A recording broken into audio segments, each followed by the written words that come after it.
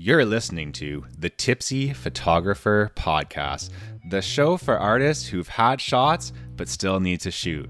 I'll give you a second to think about that one. I'm Sailor Jerry. I'm here with, you have to uh, come up with a cocktail or like spirit themed name. Oh, uh, I am the last word. Thank you very much. Wow. Okay. That's that's assertive. Just a little bit. Just a little. And uh, yeah, we're here. We're a couple of tipsy photographers who have had quite a bit to drink. But I think that, uh, you know, it gets the creative juices flowing, helps put you in the right mindset. And that's what what's uh, important, right? Last word. I mean, you get the last word. So. Yes, I agree. I believe there is a famous writing quote that says, write drunk, edit sober. And that does apply to photography in this case. Very true. Drunk or inebriated in some sense, but I wouldn't recommend editing. I don't know. I edit this podcast. No. I was gonna say don't edit anything, but I, I do edit out some stuff. uh, I won't edit out this though, Jess. Here we go. Here's the challenge. You and I right now before the. Uh, before the song ends, right? We're limited. I don't mm-hmm. know why I'm explaining the rules for so long, but we only have the song to go. Hopefully, you understand. Those are the rules. We're going to come up with a photography themed cocktail right now. So we'll throw it together. Uh, you and me, if someone just said, here's a, you're on the bar, right? Picture it scenario. Mm-hmm. On the bar, someone says, I need a photography themed cocktail. How are we going to do that for them? Go. Uh, oh. The spirit. The spirit in it is, I don't yeah, know, what's I need the most. Spirit What's the most visual of all spirits? oh, the visual of all spirits. How about tequila? Okay, you have, sure. Usually have particular thoughts in your brain when you picture tequila. Right, right, right. And then we need some things that are shaped like lenses, you know? Maybe we need like something like circular, so some citrus, some lemons, some limes. Since it is tequila, yeah. grapefruit as well, perhaps. Yes. Um, grapefruit juice. What else Fu- is photography Fuji, themed? Fuji Fujifilm. Fiji, Fuji film. film. Fuji film. so we can make it uh, island themed somehow. I don't oh, know. okay. Island themed. We'll make it. We'll make it a tropical drink. Throw in okay. some pineapple in there too. Nice. Some, from some island vibes. How about okay. that? Okay, that's not bad. What are we calling it? The Fuji film. Done. The Fuji film. Yeah. Boom. Fujifilm Love cocktail. It. There you go. Okay. Wow, that was pretty intense. Uh, this is not the tipsy photographer podcast. I actually don't recommend being real drunk when you're doing your photo shoots or your video shoots. Probably not. Probably no. not. no, especially hard to focus. Especially when uh, you know, expensive gear is involved. Yes. So uh, but I'm real like some people call me Jerry. I don't really know how to sail, but I can canoe pretty well. So that's that's similar. That's yeah, close enough. It's pretty similar. But I am your photographer, Jared Poirier, and I am here with another photographer whose name is Jess Morton. Good afternoon. That's awesome, Jess Morton. The last word. And what are we talking about uh, on the Photography Friends podcast today, Jess? We are talking about cocktail photography today. Oh, are we seriously? Shit! All of my notes are um, on dog. All of my notes are on dog photography. That's okay. Oh, I have a cat. we're we're at an impasse there, my friend. I, I cannot recommend dog photography related things. No, it's okay. I actually have uh, I have notes on uh, cocktail photography, so oh, good. good. Yeah, don't worry about it. Uh, but before we, before we can talk about any of that, I have to tell you about something awesome, which is the fact that this podcast has a sponsor, Jess. We are sponsored by CloudSpot, the easiest way for photographers to deliver and sell their photos online. Uh, you know, you take some photos for somebody you just don't, you don't want to just send them the old Google Drive link. You know, you want to roll out the red carpet for your clients. You want custom galleries, you want effortless downloads, things like that. Uh, I've been using CloudSpot now uh, ever since I discovered it on Instagram, and yeah, uh, the way that it like automatically creates galleries for you, uh, the like title page feature, just like the presentation of everything. I find that it actually ends up like saving you some time if you uh, present things in a nice way. Like maybe clients will ask you to edit them a little bit less or something. it's po- it is possible, Jess. It's possible. it's all about that presentation.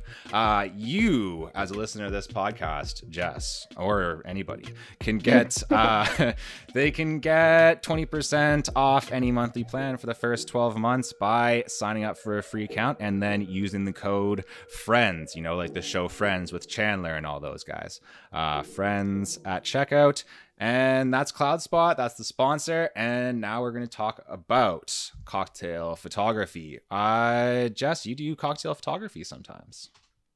Yes, I do. Uh, at the moment, it's mostly for myself for fun. And I would say that I recently listened to that podcast episode of yours that was with your friend who did his camera upgrade. And I have realized that I have been using dinosaur technology to make those pictures happen on my hmm. Instagrams. Mm. So that is an ex- a skill in itself, I would like to say. I was you, like, wait, all of my stuff is like at least six years old. Oh my. You, you've been uh, working hard. That's uh, the episode with Tristan. I think it's like episode 67, 68, something like that. I don't know. Something like Anyways. that. This one's episode 70, so this is actually uh, a super important moment, you know? Amazing. I feel yeah. honored to be on the 70th episode. Thank you. Yeah. If this episode was um, a, a Galapagos turtle, it, it, it, would be just like starting uh, turtle high school. I believe it. I believe it. Are Galapagos Still turtles young. Are they the turtles that live for a long time? Are those Galapagos turtles? I'm not sure. There's some turtles they, that live like forever. Not forever. They're the turtles that have been around for a long, long time. Okay. So we can learn from them from a biological standpoint, I right. think. all right. Well, luckily, luckily this isn't a turtle podcast. So no, no. No, it's a cocktail photography podcast. I've done a little bit of cocktail photography myself. I really enjoy doing it. Uh, Jess actually referred me a gig uh, for a spirit company, actually a non-alcoholic spirit company. So, but I still got, yes. I, I, still had drinks. So, uh, but it was cool. It was a interesting, like different, very different thing than what I was used to, right? And it was. Yeah. Uh, a really good challenge to match like the style that they already had, right? Like, um, yeah, let's get into that a little bit. Like, what is kind of your approach to cocktail photography? Like, is is it matching is it actually a very creative thing where you get to do what you want or is it just more about like matching what the brand wants you to do well for me a lot of it is doing my own thing uh, because i've been working on it for a couple of years i've learned to develop my own style based on the resources that i have uh, when i work with places like Sobrii that non-alcoholic spirit company you mentioned who are wonderful to work with even if I'm not taking the pictures, which is the case for the cocktails that I design for them because I mostly do mixology work, I mm-hmm. still have to take a reference photo for them. So they know what the, the drink is supposed to look like, what's my intention for presentation, because that is also super important, especially if we're trying to get other people to use the product in these unique ways. So that is super important. And anytime you submit a cocktail for a competition, that is also the case because I've done that in the past where nice. I've submitted cocktails for competitions and you still have to require to send a picture. Sometimes they'll specify whether it has to be on Instagram as part of the entry, in which case you actually have to put in a lot more effort and make sure that the lighting is perfect and all this other stuff. Or sometimes it's just a reference photo, like what I do with Sobrii, but I still want to put yeah effort into it to make sure that my intention is translated properly and nothing's lost along Damn. the way.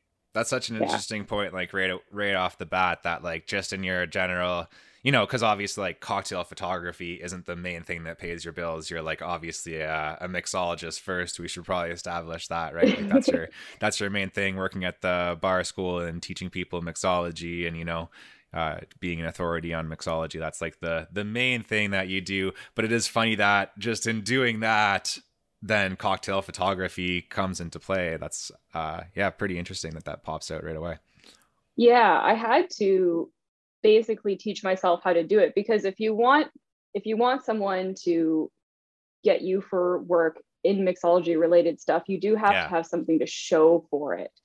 And that was me being like, okay, let's use some candles for non direct light because huh. that's what ruins the picture. Direct light is like one of the biggest challenges with making any sort of photography, uh, cocktail photography thing because everything's in glass and glass reflects light in ways that you don't want in your picture. Oh, yeah.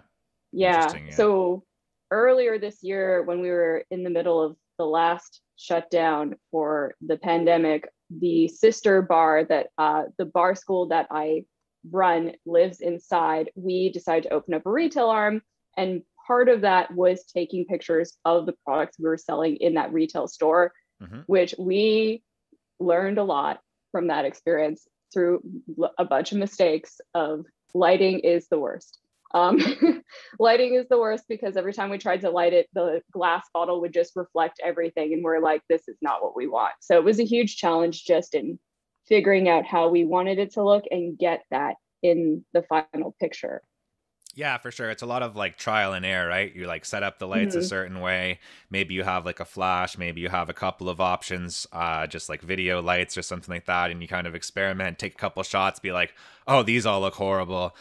yeah. and like getting the consistency too, right, is very difficult because you're like, sure, it's a sunny day. We'll throw that cocktail out on the, you know, we've all seen on Instagram that like, picture with like the sunset with the nice orange behind the yeah. old fashioned there or whatever. Um, yeah, and that's it's just not like that simple to do it, and it's not obviously repeatable because that beautiful sunset only lasts so long. So then you're trying to figure out, okay, how do I achieve this in a repeatable way so that across our entire Instagram, every single photo is looking the same? Yeah, you do have to like experiment quite a bit, but that is one of the fun things about photography, I think, right? And when I was doing that uh, shoot for Sobrii, like the setup that I actually ended up using wasn't what I thought it would be, right? Like when I initially mm-hmm. started, I was like, okay, I'm going to use my flash and like do it some fancy way. And then I was just like, okay, it ended up being that like a little like desk lamp and like a video light kind of combination, like two point lighting was getting it where it wasn't like glaring up and, and yeah. stuff like that. It is tough though to to nail it right and like get no glare off the glass and then get the colors right and everything. Definitely a challenge. Oh, definitely. And I think that's just part of the experience is that, and this kind of relates to product photography a little bit, that everything you're taking a picture of is not the same as taking a picture of something in a glass. I've found the most success in the past by doing a lot of planning in a lot of test shots. Anytime I've rushed the process is the time that I'm like, I am not happy with this.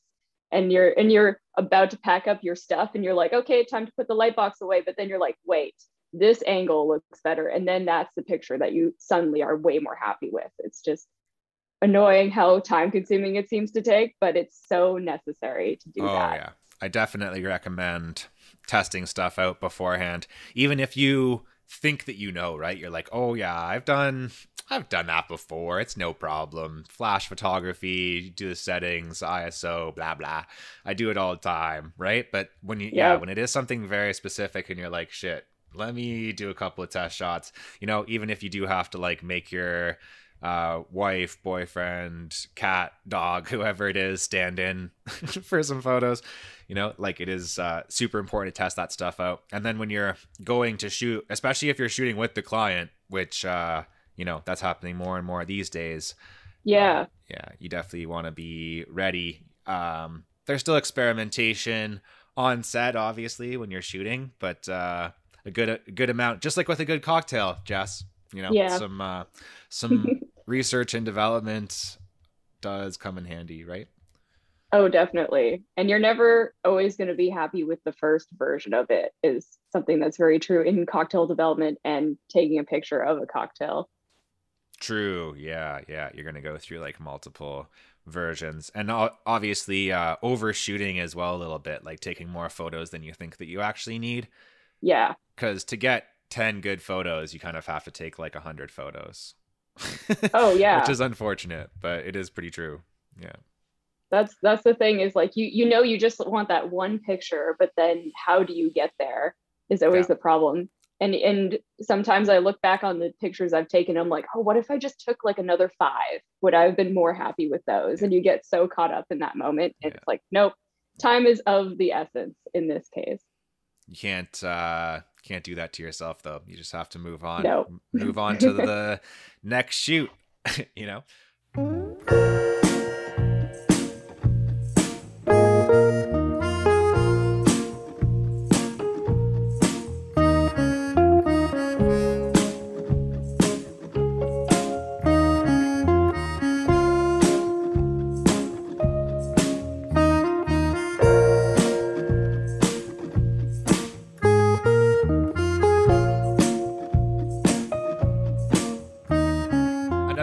part of uh, cocktail photography. You know, not that I'm like the expert or whatever. I'm just more talking like what the little bit of it that I've done. I did some. Uh, I actually did some cocktail videos for uh, for a restaurant on King Street for Ascari. So that's a real thing, and we we shot photos of that too. So yeah, I guess I've done a little bit. Uh, a big part of it is like set dressing and stuff like that, right? Like I, I yes. that's a weird way to put it. Um, but like I don't know, staging, set dressing, however you want to describe that that can be one of the most creative parts of it and like that's when it actually becomes like a storytelling thing which i really enjoy. That's where it gets like yeah. yeah it gets pretty artsy at that level. Like do you find yourself doing that a lot where you're like all right we let's say like you know our uh our photo themed cocktail from before if we have to set dress it. You know it's kind of beach themed uh it's basically um a pineapple greyhound or something. But uh, yeah, yeah, maybe we put it in a blender. Let's get a little bit more creative. We put it in a blender. okay. Kind of margarita style. All right. So what are we putting on that uh, in that photo to shoot it? Well, first off, we gotta make sure we have uh, a good garnish to go with it. Like yes. it's a blended drink, it's probably got to go in a hurricane glass, which I know is like a little tacky, but yo, it's a blended drink. That's what you're asking for. Uh, is that what those stupid margarita glasses that have like the? Oh no, I know what you're talking about, but no, it's like a tall version of that where it's got like almost this hourglass shape that often uh, tropical drinks will go in that I found before, and that's pretty common for like pina coladas. You've probably seen them in those types of glasses before. Okay. It's like tall all and like got like almost this hourglass shape where it's a little flared at the top. We'll try to post case, one on the Instagram or something. Yeah, um, yeah. I'll, I'll help you find a picture. It'll make sense. Uh, but we got to do that. And then it's probably got to have like some sort of background that's very uh, sunny or, you know, beach feeling. So, like, you could have a sunset or a fake sunset or just like bright colored background. If you want to be more like studio theme, you could do mm. like orange and yellow and pink in the background. You got to have a pineapple wedge or pineapple leaves, probably would be the more modern pineapple interpretation. Leaves. Yeah pineapple leaves and probably some sort of ridiculous looking edible flower to yeah. make it be like this is tropical. You want this in a sunset. Right. and a way of having sand but getting it out of the set without making a big mess with the sand. So that's going to be tough. Oh you want to have real sand. you you don't even have to get real sand. You could yeah. do like graham cracker crumbs or oh, coconut sugar look like looks like, really sand like hmm, interesting. something that's not going to be annoying to get out of okay. other and, food things. and hear me out. Hear me out. Okay. I live cr- live crabs. Yes. Yes. but they got to be the little ones because otherwise it's going to knock over the drink and then we're not having a good time. Uh, it might be really difficult to work with. I don't know. It might be tough.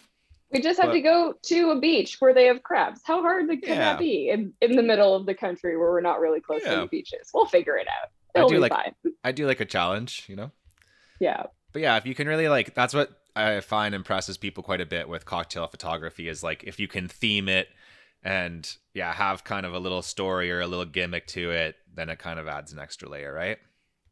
Yeah, and also what you put in the setting of the picture can help express the contents of the drink. People mm. really like to see that too.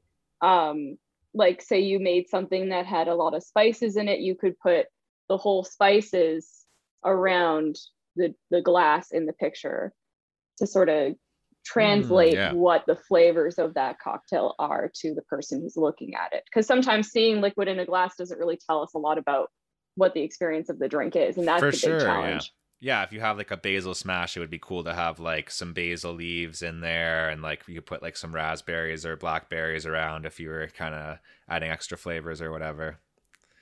Yeah, and and it's all about, and I've learned this a lot from, uh, when I've seen marketing from the sister company that I work for sometimes called Founders Original, which you know of. Uh, I've seen them do the marketing. They do all their own marketing and all their own photography for their Instagram, which looks good, by the way, if you ever want to look at it for good cocktail photography. And it's a lot of how do we translate the ingredients of this to the person, but what is the experience of this product to the person? Yeah. uh, yeah, you mentioned uh, gear and not really wanting to talk about gear that much. Well, no, I, I'm I'm happy to talk about gear. I just listening to that episode and realizing how out of date my gear was. I was slightly impressed with myself that I could still make my pictures Instagram worthy. And I'm like, I need an upgrade. Is really what I'm saying to myself, which you and I will have a separate conversation about. I'm sure. Yeah, well, I, I always encourage a good upgrade, you know, as long as you're going to make the money back on it. And I am a big camera nerd, so I love that stuff, obviously, because I have a podcast about Yeah, photography. about photography. So you would hope so. yeah, so what gear are you rocking right now? How are you shooting these photos? On- On your phone or oh, what? so I have I have an old school DSLR from I don't remember when because I've had it since college, Sweet. and and it's a Nikon D5100, which I'm pretty sure they don't sweet. make anymore. They might have uh, discontinued them, yeah. Yeah, uh, which is fine. I I really like the camera. I famously, not famously, famous to myself, I borrowed it from my younger brother and then never returned it, and then just used it for myself for the past like it's probably 10 years old. This thing. Um, Famously. to myself. So if, if uh, my brother is listening to this, I'm sorry, and I will return it to you at some point in the future. it might just be a, a while still, but he knows. He knows. I think he's totally forgotten about it. But that's what I've been using, and I find the only challenge with that, like the, it's been really good to me. Like I've used it for so many things over the years when I thought I was going to do journalism for a living and I was like going around speaking to people on web series sets, being all like, hey, you want to talk to me? I'll take some pictures of your thing and interview you. So I did video with it as well in the past. And that's like, it's the old school camera where they, before they did the upgrade, where you could have unlimited runtime in, on your film. So it stops every 20 minutes. And I had to figure out mm-hmm. how to work around that, which is a creative challenge in itself. Yeah, that's always yeah. a annoying restriction on cameras, you know? That sucks. yeah it's not the end of the world it really just forces you to adapt which for me it's like i could be mad about it or i could figure it out because Yeah. no one's going to fix it for me Yeah, So- every every piece of gear has limitations, right? You could spend like Yeah. five grand on a camera and still have problems with it or things that it can't do. So, you know, there's always it always uh, matters that you know that you're the photographer. Yeah. the camera is not going to shoot much by itself, right? So, yeah and it's it's just been fun to learn how to use it was like the first part was like what does the iso do and how do i do the white balance and that took some time because i just refused to read manuals and i'm like Yeah. i'm just going to learn it by feeling the, the thing what Um, what does ISO do? I don't know. One day we'll figure it out. One day.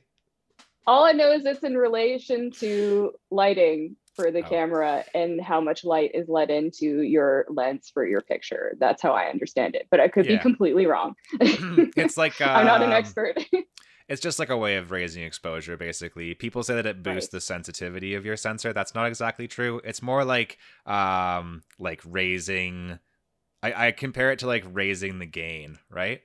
Mhm, Like so mhm. you get more that. you get more brightness, but you also get more like grain in the picture when you boost ISO. So yeah that's how I explain it. Most people just say it increases the sensitivity of your sensor, and then people kind of say like, "Oh, that makes sense to me," but that's not exactly true. Anyways, whatever. That's oh i just learned something yay important. Yeah.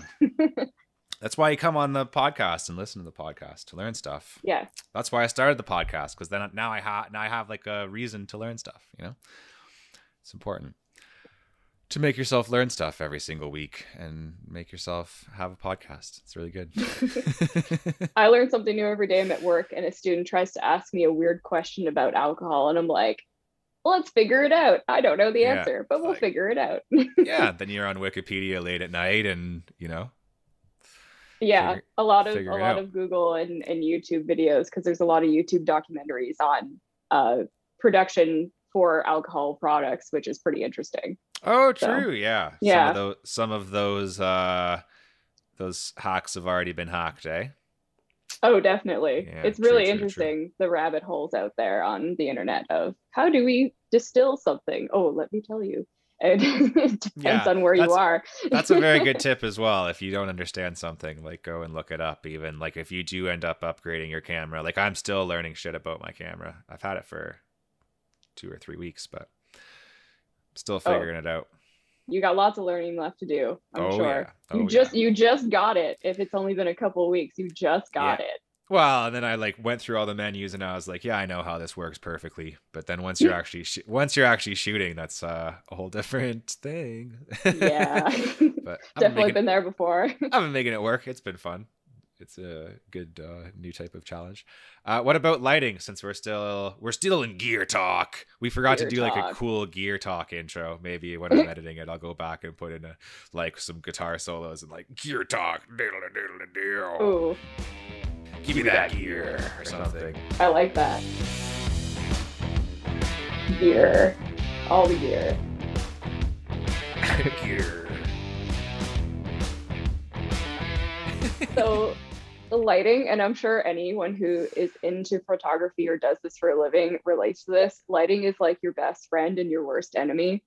Half the time it doesn't want to do what you want it to do and you have to improvise around it. So a lot of it is figuring out how to execute soft lighting which is really challenging and indirect lighting is my biggest thought on that. Obviously setting something outside natural light is the best thing ever and it's a lot easier to work with in theory but then it's temporary. So that makes it hard especially when you want to adjust as you go right? What if you were like you know what? I don't like the way that garnish looks. Let's do this again or the glass is in the wrong place in the frame. Let's move it around or i want a different prop in here to help express the contents of the drink Yeah. and you're going to spend a lot of and then- time adjusting Then you got to call Superman and ask him to move the sun back to where it was. yeah And like, that's just expensive, right? That's adding to the budget. And like, you know, yeah I, I feel like superman's got better things to do with his time ex- by is besides helping me with my photography projects mm, but depends. i appreciate the yeah, help depends which Superman. depends which Superman Yes. we're talking about. You know? that's true that's true so that's something i would recommend Yeah. you know you don't even need a lot of fancy lighting equipment i know lighting equipment is massively expensive. But if you are going to have a setup to do this make sure that you can set it up that's not going to be annoying for yourself because then it's Mhm. just going to be more frustrating when you finally get to the work where you're like okay now i can put the glass in the picture. Like make it easy for yourself if you can. You know you can buy those like paper lamps from ikea i hate to throw ikea out there but they're so right on that and just setting up enough of those will help you with soft lighting Crazy. yeah. Um, They're, they're like nicely yeah. filtered through the paper and stuff. Yeah. already. Yeah. And, And like that's super, really good. super prone to catching on fire, I'm sure. But yes definitely i've not started a fire as of yet thankfully um, keep an eye even on though i have on set. i have a new gas range stove so we'll see we'll see i'm not planning on setting anything on fire but the risks are now elevated slightly You, Um, you maybe just inspired my new lighting setup for all photography and videos from now on. I just show up with like 30 paper IKEA lamps and just put them around the whole outside, and like you're gluing them to the ceiling. Yep. yep That would actually And- look really good, though. I don't know. That would look pretty good. Yeah and it's it's like and the other thing i should mention also is you don't need you need to have more than one source of light which is something you discovered as well when you were doing those Yeah. Sobrii videos because just one light is not going to be enough because you need fill lights and you need key lights. And now I'm sounding really technical, like I'm still no, in film cool. school. The people um, who uh, listen to the podcast like to hear about key lights and things, so it's cool. Yeah. So I find that's really helpful because, again, you're sort of battling this thing with the glass and the lighting, and a lot of it is just um, think of it as in terms you're not putting the light directly on the object, you're putting light in a different direction that's reflecting off of a surface that provides you with soft light, which is mm, something yeah. that we learned uh, when we were doing uh, product photography for Spirit House. Is uh, we were very we took a minute to be like we don't know what we're doing we need to figure this out so we asked advice of uh, one of the people who work on the founder's original side for their marketing team. And uh, she was very kind to show one of our staff how that made sense. And we are just like, yeah. we've been doing this all wrong. We have no idea. And and you see that in other tutorials, there's some really cool folks on Instagram who do a lot of tutorials on how to do cocktail photography. And it's all indirect light. It's like we're pointing light at a surface that's close to the object that is reflecting the light back at the object, but in a way that is softer and not harsh and really highlights the contents of the drink. Yeah, I think so. that's like the first mistake that everybody makes with flash photography in general is they just yeah. like get that flash, put it on that camera, put it to max, put it in front of someone's face, boom, and you're like, "All right, well, uh it's really cool that their eyes look like they're on fire." Super overexposed, but it's fine. I mean, you it is good. At, it's okay. it is good if you're doing. It's actually Comic Con this weekend, so if you wanted to do oh, kind yeah. of like an X Men, like Cyclops, Eyes on Fire vibe, uh, then yeah, then yeah, it would work for that. Just for that though. yeah, it's pretty specific use case. Um, yeah, like filter. Obviously, just like putting a soft filter on stuff, right? That's why there's like soft boxes, yeah. and although yeah. soft boxes kind of suck, I don't really like them. But also just like video mm. lights that have a filter in front of them. Um, for your flash, you can have like I use like a big reflector on the back of my flash that I really like. Mm. I find that you can like bounce light around in a nice way like that. You could filter that too, but I don't know. I just usually turn it down a bit. It does the trick. Yeah. And and that's the other thing is that you do want lots of light because it helps yeah. give you more detail in yeah. the final picture. And that's so important in cocktails because you know, something as it it does sound boring in theory. It's like liquid in a glass. How can we make this exciting? And seeing the detail of of that will help make it more interesting. I find, you know, if especially if we're putting in like props or interesting garnishes or other things in the picture to make it more interesting. So you do need that a light. is just challenging to work with.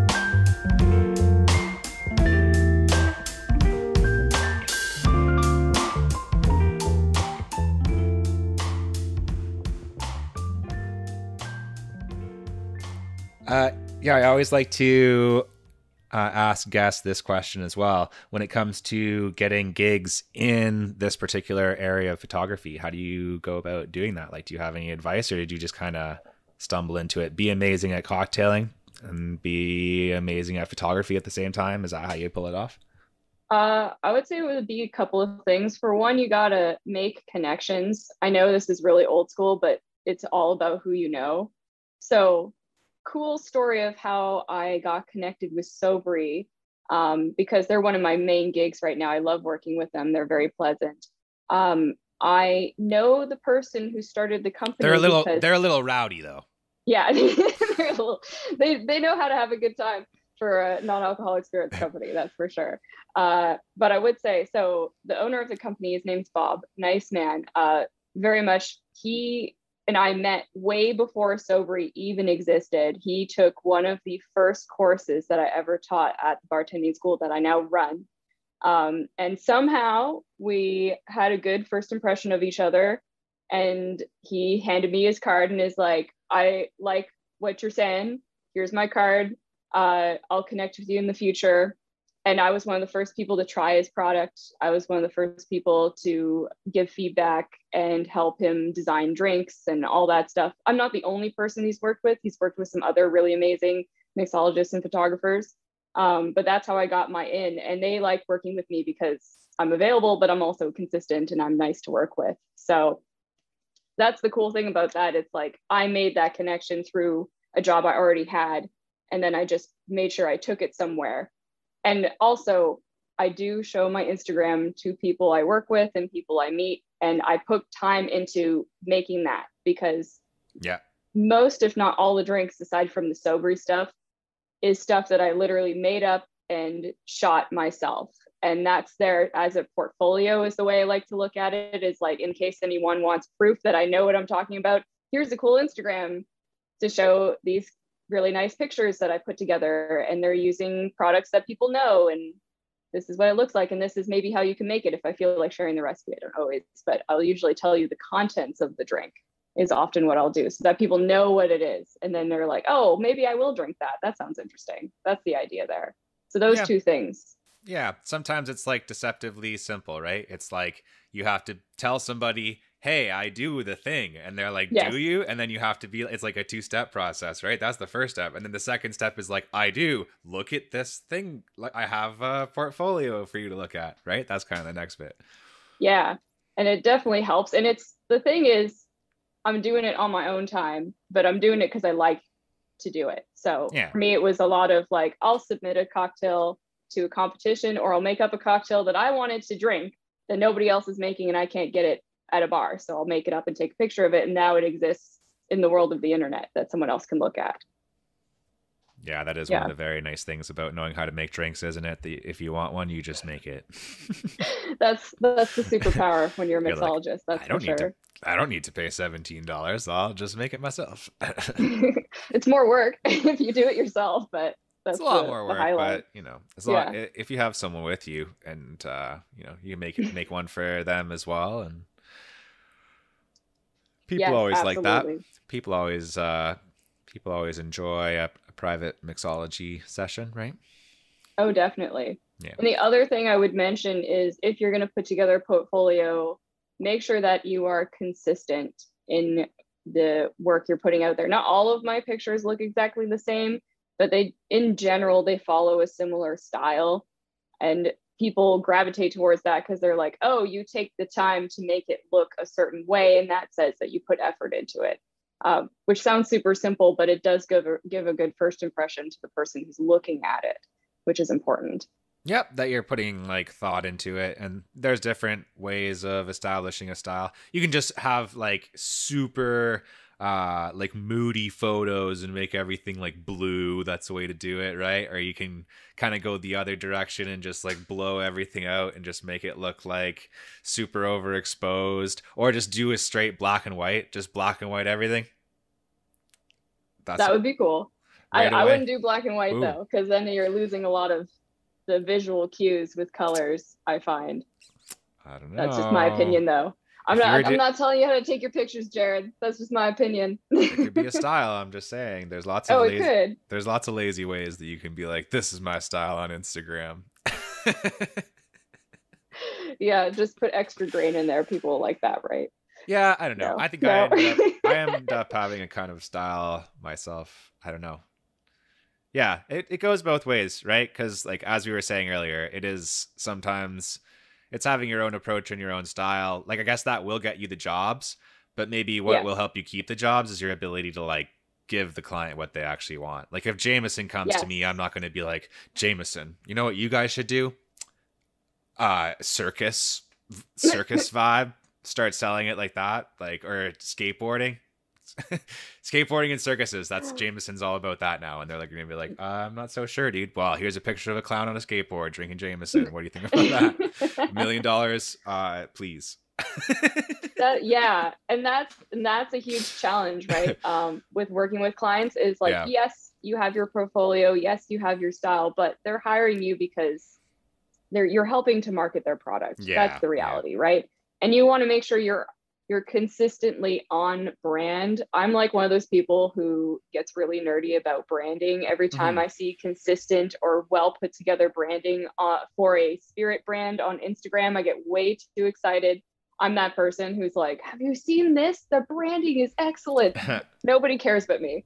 Um, but I think it's just really cool when you're thinking about how we market things to consumers because Yeah. the thing with alcohol is you have to convince people to buy it and you have to convince people to keep buying it.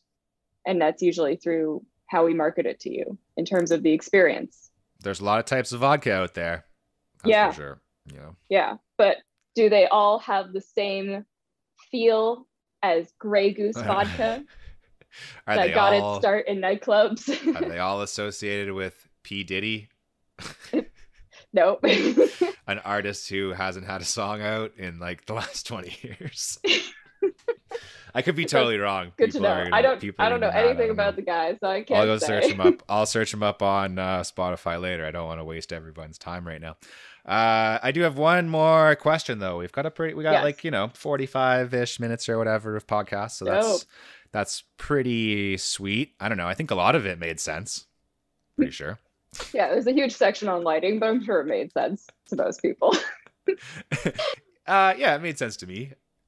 We, Yes. we dropped we dropped some camera words in there, so you Yeah. know, I'm sure people will be happy. Uh, do you think that in order to get into cocktail photography, that you actually need to know how to make cocktails? Is that an essential part of it, or Not. Yes. Yes. Um, just straight I yes? I I wa- I a part of me was like, but do you is need there to a know how? possibility? Do you need Is to know how to play music to do concert photography? No, I you No. know what? You should ask your last guest that because I feel like she would know. Uh because she did do that. Yeah. Um, but the other the thing is, if you're going to do cocktail photography specifically, the most successful people I know who have done this, um, and I can name a couple, like uh, Cheers to Happy Hour. They're a really amazing account who obviously they know exactly what they're doing. Their style is very consistent. Their pictures are beautiful, but you know that they know exactly what they're doing when they're putting together that drink.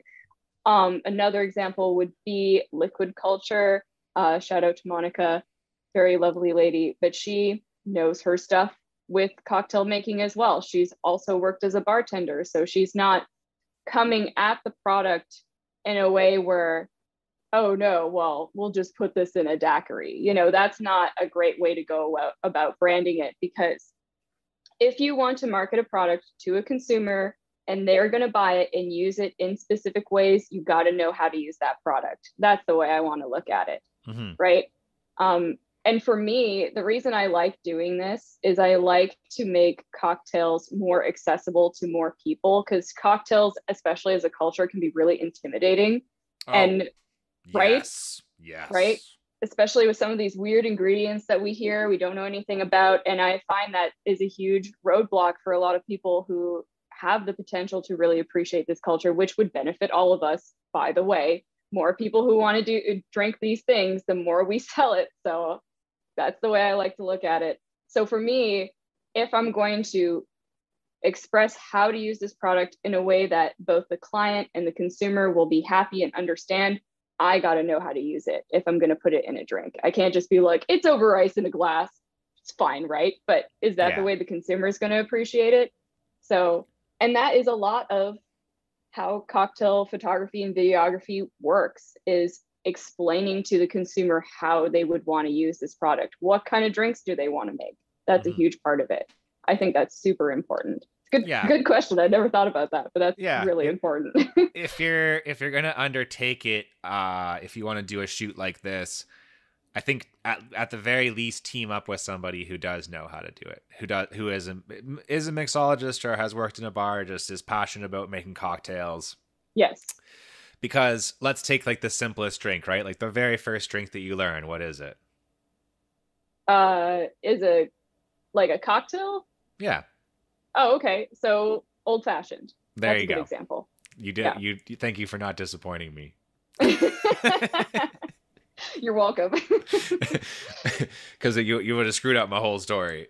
Oh, right? okay, good. okay. So the simplest drink, right? It's an old fashioned. It's two whiskey, one sugar, you know, one simple syrup, whatever you want to call Yeah. it, and uh, and some bitters and an Yep. orange peel, right? Yes. It doesn't get any more simple than that. So if you're were to say to somebody, okay, make an old fashioned and shoot a beautiful picture of it, if you just make some stupid old fashioned in a regular old rocks glass and put crappy ice in there that like half melts by the time you take the photo and just like uh like shitty like an orange slice that you stick in there right? Oh, somebody who it's a simple simple simple drink but somebody who actually has made like you know a hundred old fashions or i've probably made like a thousand old fashions at this Oh, point yeah. yeah. Yeah. just for myself jess no i'm just kidding Hey, I don't know how long that I'm time period judging. was when you made those thousand old fashions. I'm not here to judge. i made them in bars okay so that's all right I believe you. and for And other weddings. people for, and weddings For and other people. yeah but like someone who's you know made a bunch is going to be like okay if we want to actually like photograph this make it look special. We're going to get nice glassware. We're going to cut the garnish in like some ridiculous crazy way and loop it around in a circle.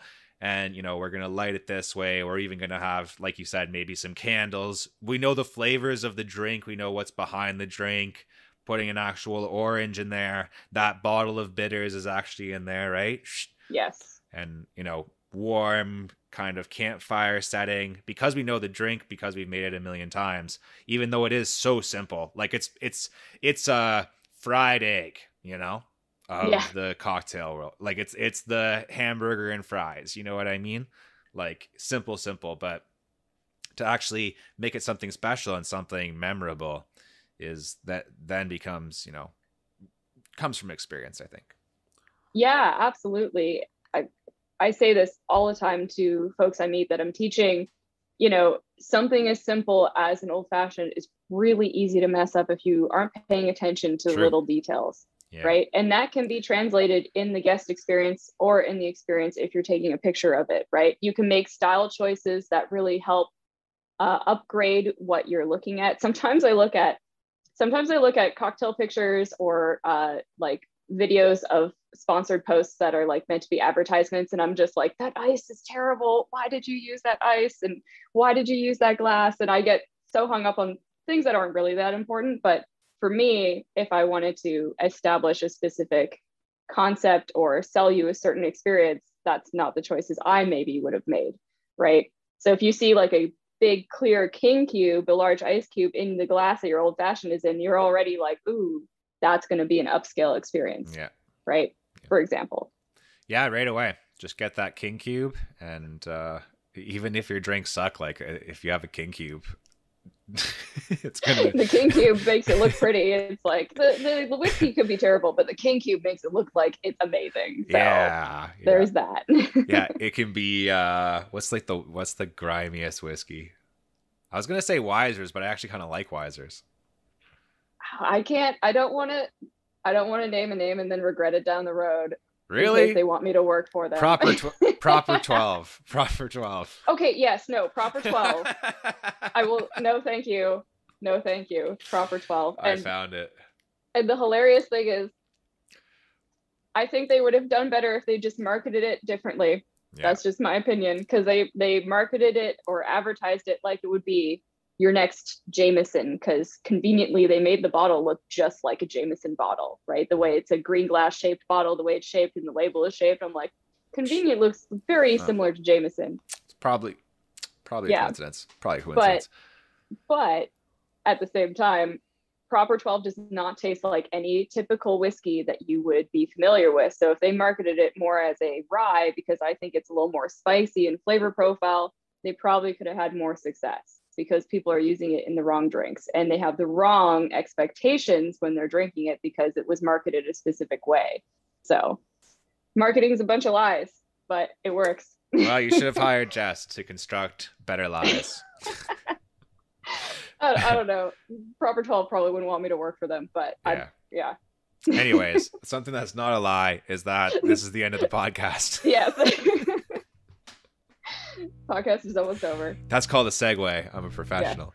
Yeah, uh, yeah Jess, thank you so much for being on here. This was super fun. Uh, I oh, definitely yeah. learned a lot. Definitely uh, got got me thinking about a lot of stuff, and it's just uh, good to see you. It's funny that we actually did this over Zoom, even though we hang out in real life all the time. Just we're both busy, so we couldn't we're, line it up. We both have that's okay. Full schedules, so that's okay. Yeah. I probably have yeah. a picture of us hanging out together in real life that I can put on Instagram. Anyways, uh, which is a, which is another segue because one of the things that I do once we've rolled that outro music, Jess, I tell the yes. people to check out our Instagram photo yeah. underscore friends underscore pod. I'm doing reels on there, guys. I'm out here. I'm busting my ass. You know, uh, I'm doing my best. Jess, do you have a, do you have an Instagram?